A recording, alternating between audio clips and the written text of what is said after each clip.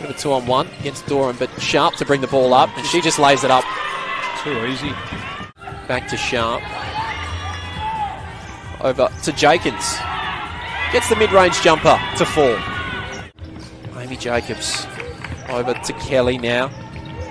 To Sharp. That's too easy for the Tigers. 16 11 though. Sharp in the corner.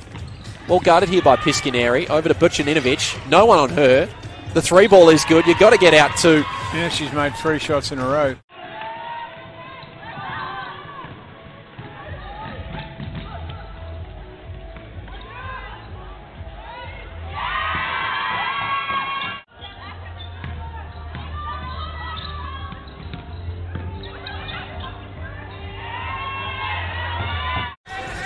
Guarded well by Sadie again, right up in her grill.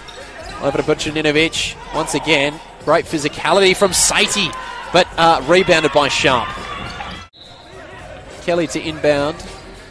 Sharp, baseline, mid range shot is good. And a foul has been called. She hasn't been involved as much as she was in the first half.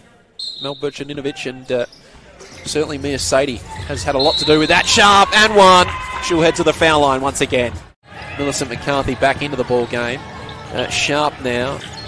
Mid range shot over two is good.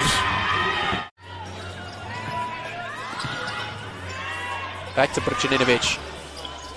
Shoots and it's good, and uh, she's got a 30 piece for herself tonight.